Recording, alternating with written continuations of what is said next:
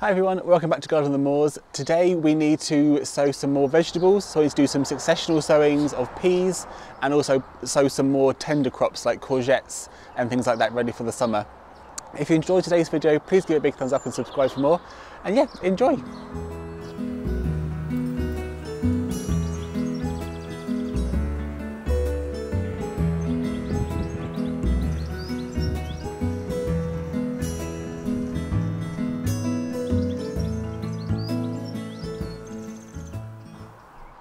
So here are the peas that we sowed about a month ago. You might have seen on the earlier video. Uh, they're doing really well and now it's time to sow the next half of the row so that we can then try and extend the season. So just like before, we've got Kelvedon Wonder peas, which are saved seed from previous years. Um, and I'm just gonna plant them with my little dibber and about the length of that apart because that worked last time. I also need to try and avoid damaging any of this plant here. This is Solomon seal. Um, I didn't actually plant it, it just popped up. Um, but I love it, so I'm trying to keep it. But it does try and creep into the uh, into the veg patch. So let's get some peas in. Now I'm going to start off just after these ones. So dig a little hole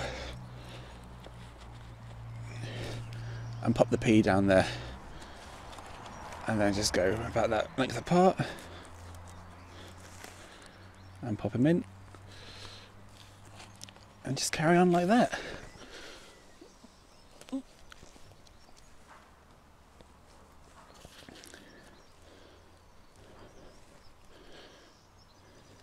Now, if not all of them germinate, that's that's fine. I can always fill them in. But what you'll probably notice if you look at the row here is some of them don't germinate, but actually their neighbours have, um, and so their neighbours will just fill in the gap. Um, so it doesn't really matter too much that they, it's not 100% germination.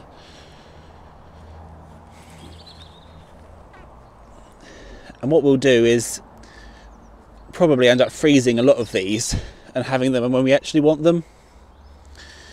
Um, but a lot of them will be eaten fresh off the plant because that's when they're they're sweetest. They lose their flavour pretty much the moment you pick them. They start losing their flavour, um, which is why growing your own is so much worth it. So I'm just going to go along this line and I'll go and do the same on the other side. And you can see behind the peas, the garlic has done incredibly well. I can't believe how good a job it's doing at growing.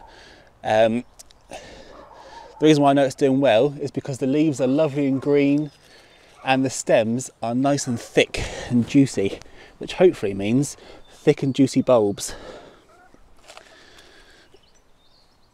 They will probably be ready in another month or two's time really when we start to see the leaves yellow like a natural natural yellowing of the leaves. That's when we'll know that they're ready to um, pull up and dry out to store. So hopefully we can show you that when we get to it. Oop. so that's one line done. Just to try and avoid the vegetables and the pea sticks and do the next line.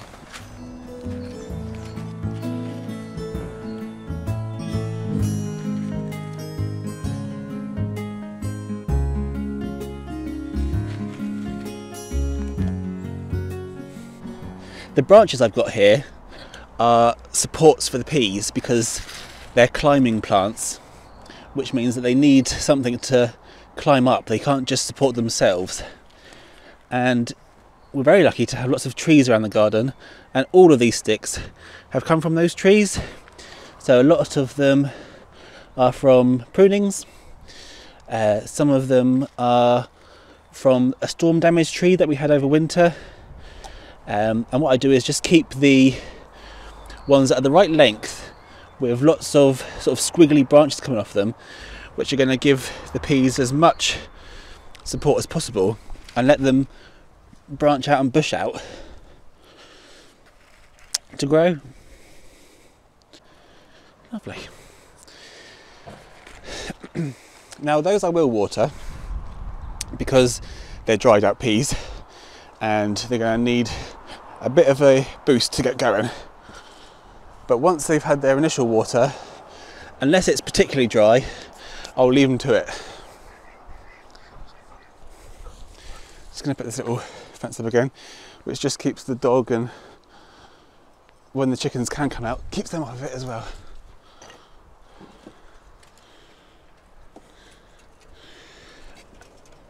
And although the chickens aren't allowed out yet, it's still useful to have these in place because ideally you want stuff like fencing and support oops, to be in place before the plants grow up so they then kind of grow around it and it looks more, you know, natural um, rather than forced. So that is peas done for the year. Just gotta wait to eat them now, which will be delish.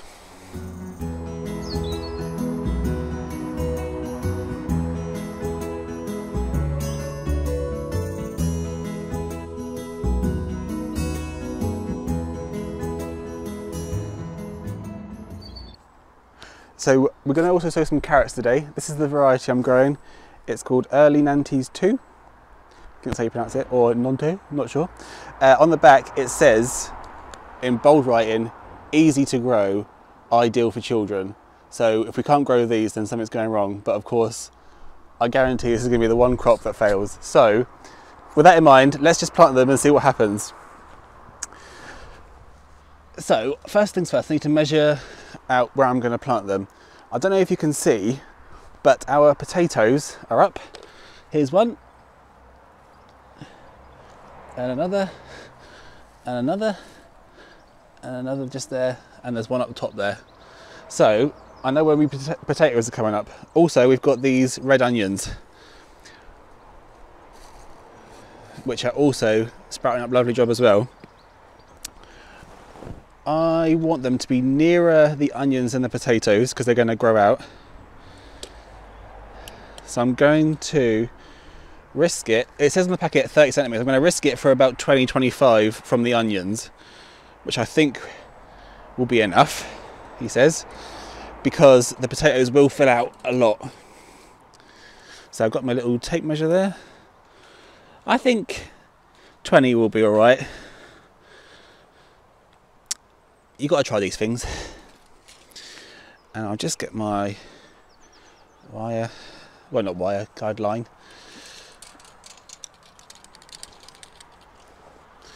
And I think I said 20, didn't I? So it's 20 from there. A generous 20. Just there. Make it nice and tight. Now carrots don't want to be deep they like it shallow so they can keep warm. Hello, mate. So, I just need to very gently, so it's right on the ground now. Okay, I've got my trowel and I'm going to use this to make a very shallow drill. So just going to part the soil. Like I said, it really doesn't need to be deep. It's just got to kind of stand funny to avoid all of the veg. But once it's in,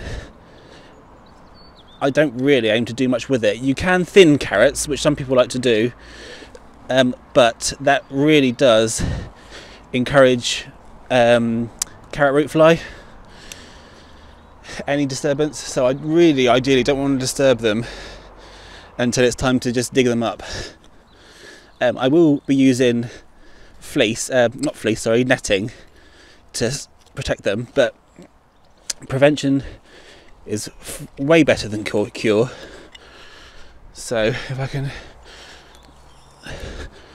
prevent the carrot fly from even thinking about it, all the better.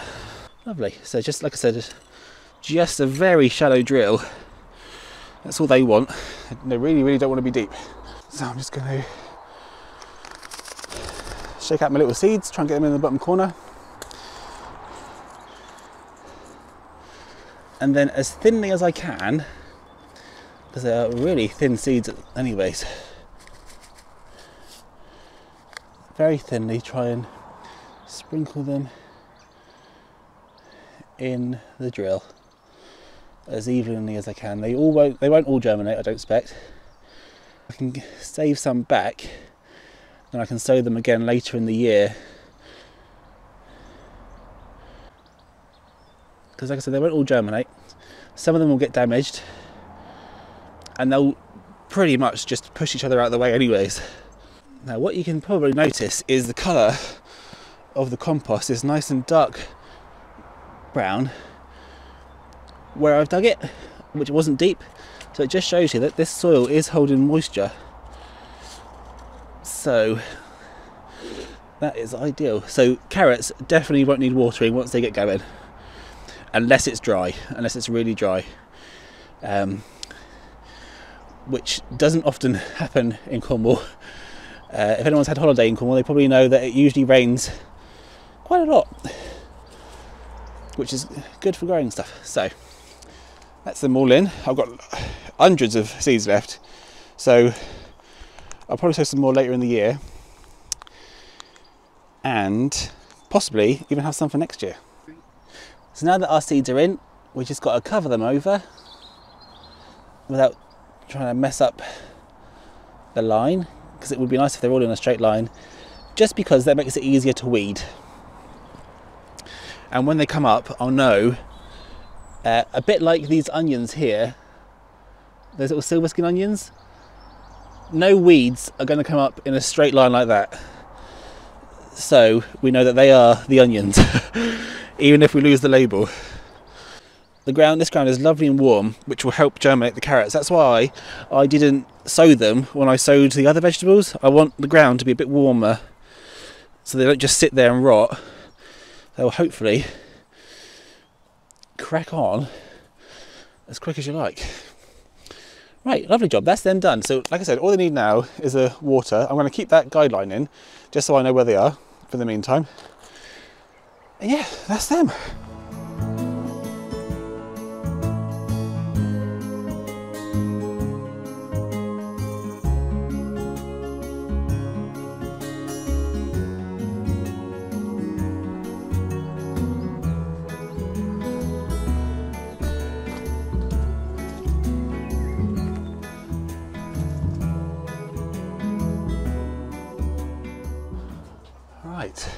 Next thing we need to sow are the uh, courgettes, squash and pumpkins. So uh, it's the end of April now, coming towards the end of April anyways, and these vegetables that I'm going to sow now, they can't go out in any frost. If they get a bit of frost them, that's it, they're wiped out, they're dead, they're done. So I really don't want that, which is why I'm sowing them now, so that hopefully by the time that they're ready to go out, they actually can go out, because it will be by the end of May, beginning of June, which is when we stop getting frosts.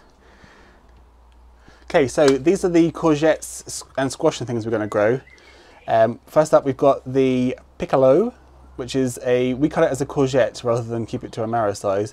Absolutely loved this one last year. It was brilliant for us. So we're growing that one again. We've got this one called Gold Mine. Uh, like the last one, this is an F1 hybrid. So it's a first generation hybrid. Um, that's absolutely fine. We won't keep the seeds. We just buy fresh every year. So we've got Goldmine for some nice yellow uh, courgettes. Then we've got, oh my goodness me, Courcourzelle for a stripy courgette. Um, haven't tried this one before, but yeah, I just like to have a variety to mix it up. We've got pumpkins, Evergold. Um, I'm going to actually probably plant these down in Brandon's grandparents' garden because um, they've got more space and we can just plant them and they'll just be able to do their own thing. We don't need to keep constantly having to, you know, harvest and things like that. Uh, we've got a one called Winter Buffy Ball. This, I think, is like a small pumpkin looking squash, which I'm hoping will be nice for us to have during the winter and store it and keep it over winter. That's the plan anyways. Haven't tried it before, but we've got to try new things, isn't it? So, and then last but not least is courgette Lorea. Um, so these are apparently white, straight fruit with a sweet and delicate taste, perfect for cooking in a variety of dishes. Ideal. That's exactly what we want it for. So we're going to grow them as well. For the courgettes, I only want, uh, ideally, I want two of each. Um, I don't want hundreds, but we do want a lot. We do like a courgette, so, and I want a variety of things. So we're going to aim for two of each. So I'm going to sow three of each and keep this best two. And that's if there are two, you know, they don't always germinate. And then things like the pumpkins, I'm probably going to sow, so I'm probably going to sow quite a few. Um, I'll aim for about six. Um, and then we'll just give them to family and friends with young kids and stuff like that. So that'd be the plan for them. Now then, to sow them is pretty much like everything else. I've got, although I've obviously starting off with a big pot because these are going to be very big plants and they don't mess about. They start off pretty big, to be honest. Fill it with some peat-free compost, as always. And then I just need to get one of my seeds.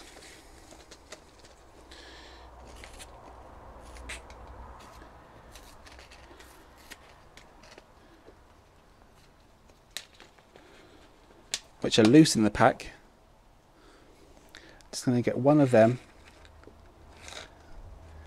and then sow it on its side. Bless you. I'm just going to sow it on its side like that and then tuck him in so it's nice and cozy. Pop a label in him and give him some water and all the rest will be just the same as that. And there we have it. All the courgettes and pumpkins and squash are sowed. I even had some room left over to sow some runner beans, coriander and lettuce. Uh, the runner beans will go down Brand's grandparents' garden and the lettuce and coriander are just because I had some spare, um, some free seeds come through and some spare compost, so figured might as well. So here's the state of play in the greenhouse.